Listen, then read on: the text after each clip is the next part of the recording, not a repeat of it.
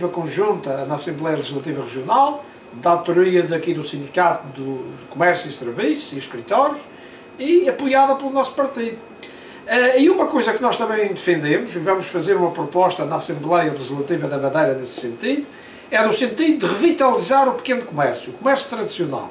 Como é que vamos fazer? Uh, criar uma, legislação, um, uma proposta de resolução para apresentar à Assembleia, no sentido do, dos grandes centros comerciais encerrarem ao domingo definitivamente. Porque eles no domingo fazem concorrência desleal e essa concorrência eh, destrói o pequeno comércio tradicional e, em consequência disso, cria desemprego, cria eh, a desertificação do comércio no Funchal.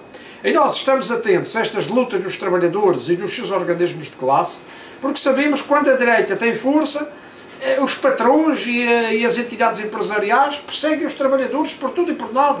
Eu hoje até tomei conhecimento de uma coisa eh, rara, mas que acontece. Existe no Corral das Freiras uma associação eh, portanto, uma empresa eh, de restauração que fornece alimentos aos pobres e aos mais necessitados, que é uma empresa que é chamada Panela de Ferro.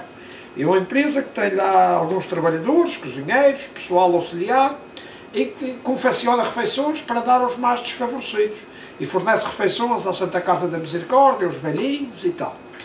E, e portanto, o, o espírito persecutório que já existe ali naquela empresa é de tal ordem que já perseguem os trabalhadores por comerem maçãs. Uh, há lá um senhor que é cozinheiro, como é conhecimento disso, o senhor só por comer maçãs, uh, tomar um pequeno almoço de manhã, estava a comer maçãs de pé, veio a chefe, já disse, olha, tu estás castigado e cortou-lhe um dia de trabalho. 40 euros ao cozinheiro, porque eu sei trabalhar um dia uma coisa que nós na construção civil, que eu sou do setor da construção civil, os trabalhadores comiam uma bucha às 10 e às 3 horas, não havia problema nenhum, isso é uma coisa corrente. Agora, esta senhora que lá comanda o panela de ferro, só para o cozinheiro comer um assandes, um papo 5, já foi castigado com um dia. Um dia de corte de salário. Eh, o trabalhador eh, queixou-se na inspeção de trabalho e a inspeção pegou na caixa e meteu dentro da gaveta porque eles não se queriam pôr ao PSD, que aquilo é tudo farinha do mesmo saco.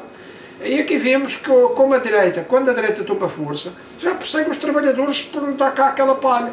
E nós temos que estar atentos e vigilantes contra estes abusos do patronato que viola todas as regras, todas as leis e persegue os trabalhadores. E eh, estamos aqui de braços abertos a apoiar o Sindicato de, de Comércio e de Escritórios e, e vamos colaborar com eles, com os trabalhadores que eles representam, porque tudo o que seja uma luta para colocar eh, na ordem do dia os direitos dos trabalhadores, podem contar connosco, com o Partido Trabalhista Português, estamos sempre disponíveis na luta e nesse combate. Muito obrigado.